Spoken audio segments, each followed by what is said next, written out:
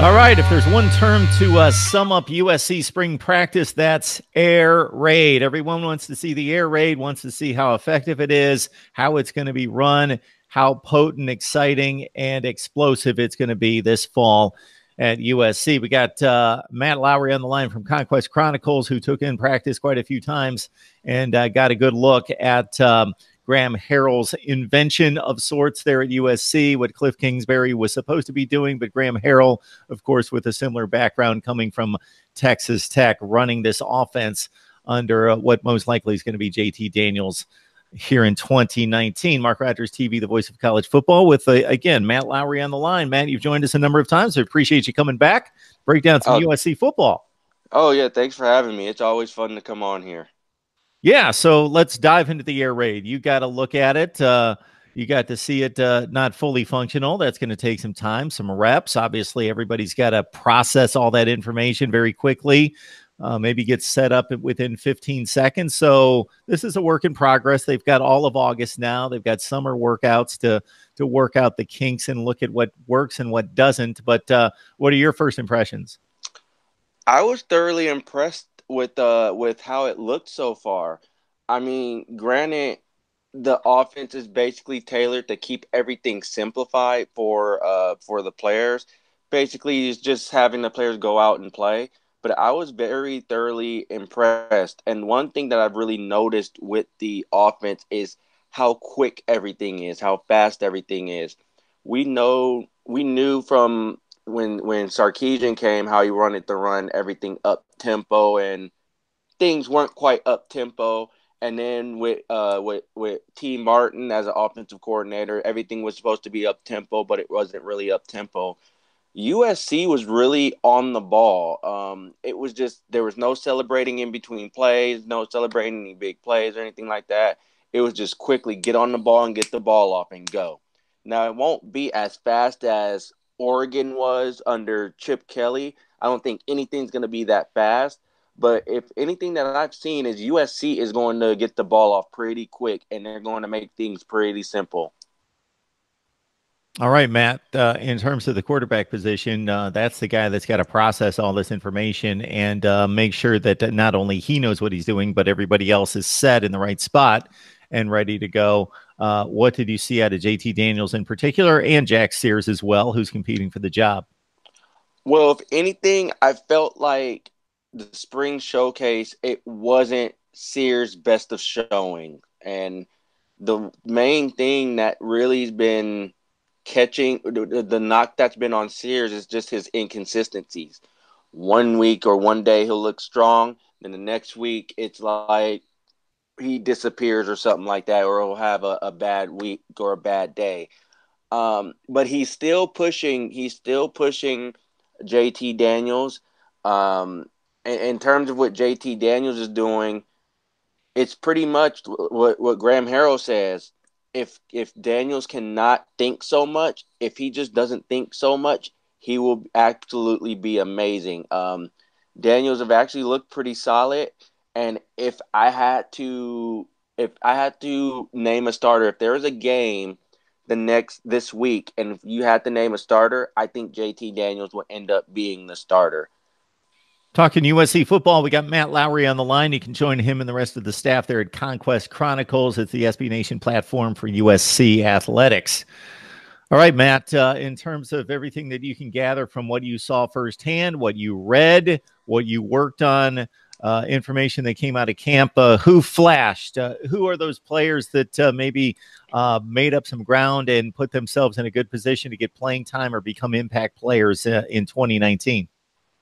Well, one player to keep an eye on, and he's really been impressing during spring camp, is uh, Markese Stepp. Uh, the, he was a freshman last year. Uh, they say he's a redshirt freshman, uh, although I have to check the the red shirt rule on how that works out because I thought he was a red he was redshirted last year, and then they burned his red shirt due to uh, the depth issues at running back late in the season. But Stepp, he, he's actually pretty quick in in person for as big as he is. Um, apparently he's he slimmed down a little bit, but he's he's a big back. He got some speed, as you saw in the spring showcase. Um, had a huge opening and just darted through uh, a, a wide open hole. Um, who else was looking good? Um, um, with with uh, everyone's talking about Carr. About uh, uh everyone's talking about Stephen Carr. If he looked healthy, if you know how healthy he's going to be, he actually looked pretty good in camp as well. Um, he missed, I, I, believe, he missed a week due to uh, the flu, which is something that's been going around. But he's looked pretty impressive. Drake uh, Drake Jackson, who a lot of people were comparing to Rasheem Green and Leonard Williams. He looked amazing all camp, and you saw it during the spring showcase, especially with the one-handed interception that he had, where he just snatched the pass out of the, out of midair with one hand and just ran down the sideline with the ball in, in the air with one hand. So he's going to be a treat to watch. I think he'll get some pretty good playing time um, on the on the defense this year. But a name that hasn't really come out like that, and this is going to be a new name that people are are going to have to get accustomed to. If you're an old school USC fan, then it's not really a new name, but that's John uh, John Jackson the third. As everyone knows, his father John Jackson used to play receiver at USC. Um, Jackson has looked really impressive. Like he he's he's been absolutely the name that's been popping out where you've been hearing about Vaughns and uh, Amon Ra St. Brown and Pittman and uh, Williams. John Jackson III is another guy you can slot in there because how the way he's performed this spring, he's going to see some pretty good playing time during the uh, during the season and probably work his way into the rotation come fall camp. You know, Matt, if there's a position that seems to be well fortified, it's the one you just mentioned uh, from a depth standpoint, uh, but most likely from quality. Uh, that the wide receiver spot seems to be the strongest unit on the field for me, uh, unless I'm misreading something. Uh, uh, as you look across on the defense and the offense, what what would be the other positions that you would feel really good about right now?